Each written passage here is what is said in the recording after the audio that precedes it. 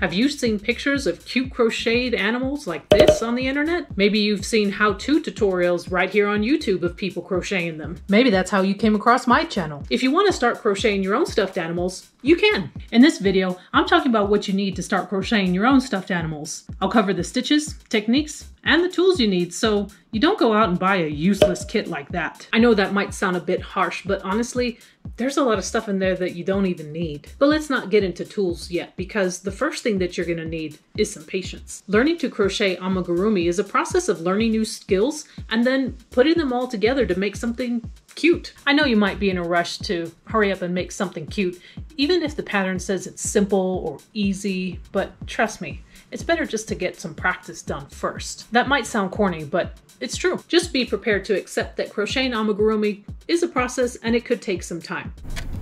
Now, let's talk about what you need to buy. You can't crochet without a hook and some yarn. You might be wondering, what yarn should I buy? And you'll probably be tempted to buy some of that trendy blanket yarn or something that looks like fur, but stay away from those. Those yarns can be difficult to work with, and they're not very beginner friendly in my opinion. I've been crocheting for a long time and I don't even want to touch that stuff. So what yarn should you buy? I suggest picking something up that's a weight 4. You can find this information on the yarn label, and it's just one way that yarn manufacturers categorized its thickness. Then look for a yarn that's made from acrylic. The reason I recommend this is because it's pretty common and it shouldn't be that expensive. You should be able to pick some up at your local craft store. Most of them have coupons online, so take a look before you head out. In my experience, acrylic yarns are usually spun pretty tight, so it's not going to pull apart as easily as some of these other yarns. And it's also going to help you see the stitches that you make, which will help you learn where to put your hook. As long as you don't select a dark color, try picking out some neutrals like these. Remember, this is just practice yarn, and once you feel better about what you're doing, you can always get into something else that's a little bit more fancy. Now that you have some yarn, you need a crochet hook. I know there's a lot of super fancy ones out there, but honestly, I've been using the same one since I started crocheting almost 20 years ago. Yeah, it's been that long. Crochet hooks come in all different sizes and brands, and you might be wondering, which one should I get? The size of your crochet hook usually depends on the type of yarn you select and the yarn label will have a recommended hook size, so I'd go ahead and choose that for now. Learning to hold the yarn and the hook at the same time can be challenging for some people, so I recommend getting a hook that's comfortable and not too big or not too small. A 5 or 5.5 millimeter hook fits pretty good in my hand, so you might want to give that one a try. When you crochet amigurumi, you don't always pay attention to that recommended hook size because you want your stitches to be nice and tight and this can vary from crocheter to crocheter, but let's get back on track. Okay, now that you know what hook size you're gonna get, you might be wondering, what brand should I buy?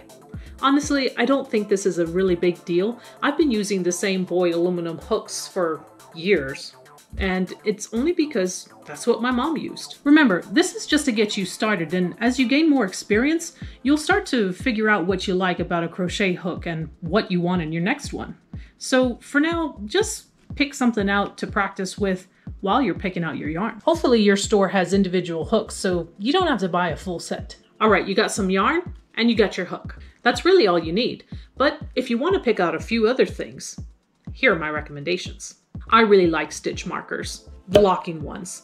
They help me keep track of the last stitch in a round, which helps me keep track of when I complete a round. I also use them to hold my work from unraveling. Hold my work from unraveling? What I mean is, when I'm done crocheting, I put that stitch marker into the working loop so it doesn't unravel. So you might want to get yourself a small pack. Something else you might want to get is a row counter. They help you keep track of completed rounds, and when you follow along with a pattern, that's pretty important. So these are the manual ones that I have, and I don't bother getting anything else. They work for me, and they're probably not that expensive. If you're crocheting amigurumi, you're going to want to get a bent tip darning needle. They're going to help you get in and around stitches when you start sewing pieces together or when you need to do some embroidery.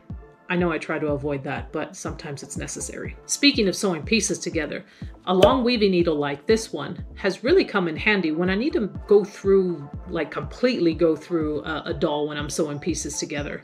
You can also purchase some fiber fill.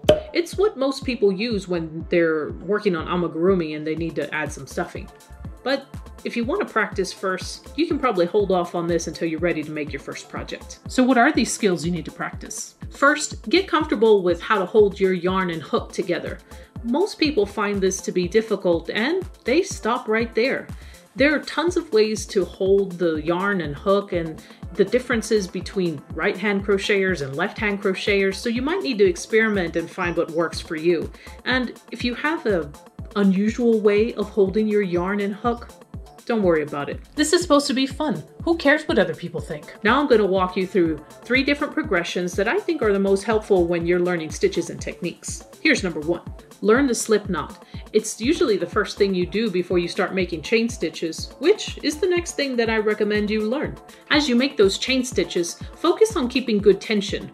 Your yarn shouldn't sag or be too loose or too tight around your hook as you make these stitches. You want to get consistent stitches, so you're making things that are about the same size every time. Once you're making some really good chain stitches, you can start working into them with single crochets. This is called working into a foundation chain, and it's the beginning of learning how to crochet in rows. I have a full tutorial on how to crochet in rows, and you can check that out here.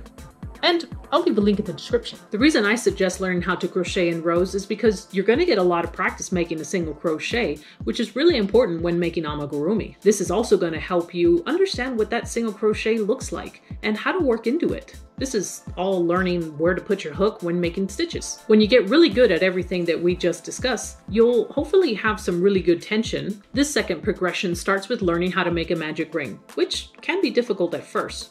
But this is normally how people start when they're learning to crochet in rounds. Crocheting in, in rounds or continuous rounds is really popular in amigurumi. And once you've secured that magic ring, you just start putting some single crochets in it. But the pattern will tell you how many to make. It's usually about six or eight. And once you're done making that first round, you'll just pull that yarn tail tight to cinch everything up. Once you're done, you'll just continue crocheting in a continuous round, which is kind of like a spiral. This is where stitch markers come in handy because without them, you might not be able to understand where you started or where you ended a round. Most amigurumi is really just making the same stitch over and over. Sometimes you'll put two stitches into the same place, which is known as an increase, or you'll shrink two stitches into one, which is known as a decrease. I have a video on that. You can check it out here. This last progression you should learn is working around a foundation chain. It's very similar to how you would crochet in rows. You make your chain stitches and as you work to the opposite end where the slip knot is, you just turn your work and keep crocheting on the back side. I also have a tutorial on this, and you can check it out here. The last thing you should learn how to do is the slip stitch.